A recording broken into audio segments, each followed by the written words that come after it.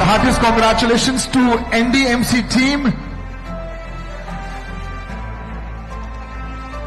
NMDC team के लिए जोरदार तालियाँ हो जाए national mineral development corporation limited